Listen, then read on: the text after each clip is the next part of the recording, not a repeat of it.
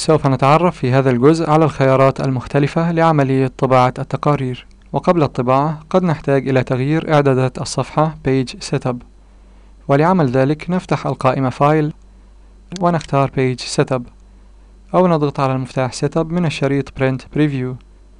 أو نضغط بمفتاح الماوس الأيمن داخل التقرير ونختار Page Setup من القائمة المختصرة.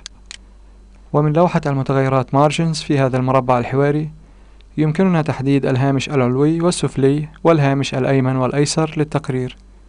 وبمجرد تعديل أي من هذه الهوامش سوف يقوم البرنامج بإظهار تأثير هذا التعديل مباشرة على شكل التقرير في الجزء سامبل الذي نراه هنا.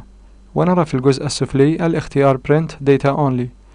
وبتشغيل هذا الاختيار سوف يتم طباعة بيانات عناصر التحكم التي تقوم بإظهار البيانات من الجدول أو الاستعلام المبني عليه هذا التقرير فقط.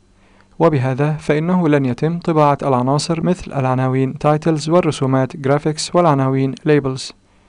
ومن لوحة المتغيرات page يمكننا تغيير اتجاه وحجم ومصدر الورق في الطابعة.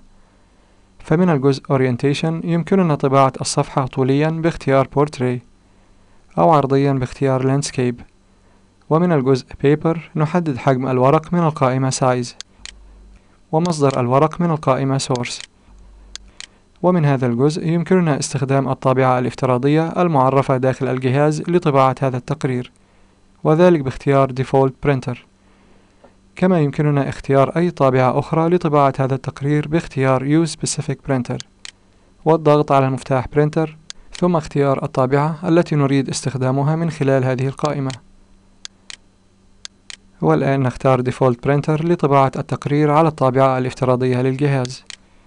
ومن لوحة المتغيرات Columns يمكننا تقسيم الصفحة إلى عدة أعمدة لعرض تفاصيل التقرير وذلك لاستغلال عرض الصفحة بالكامل. ويمكننا تحديد عدد الأعمدة وعرضها والمسافة بين هذه الأعمدة من خلال الجزء Grid Settings. ومن الجزء Column Size يمكننا تحديد عرض وارتفاع كل عمود. وبتشغيل الاختيار Same as Detail يتم ضبط قيم الخانات width و height إلى أبعاد الجزء detail الخاص بالتقرير. ومن الجزء column layout نحدد اتجاه طباعة السجلات داخل الورقة في حالة تقسيمها إلى أكثر من عمود. ولحفظ الإعدادات والخروج من المربع الحواري نضغط على المفتاح OK. وبعد الانتهاء من إعداد الصفحة يصبح النموذج جاهزا للطباعة. ولطباعة التقرير نفتح القائمة فايل ونختار Print. فيظهر المربع الحواري Print.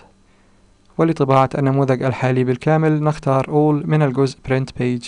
ولطباعة صفحات معينة من التقرير نشغل الاختيار Page. ثم ندخل أرقام الصفحات التي نريد طباعتها في هذه الخانات. ومن الخانة Number of Copies نحدد عدد النسخ التي نريد طباعتها. ثم نضغط OK.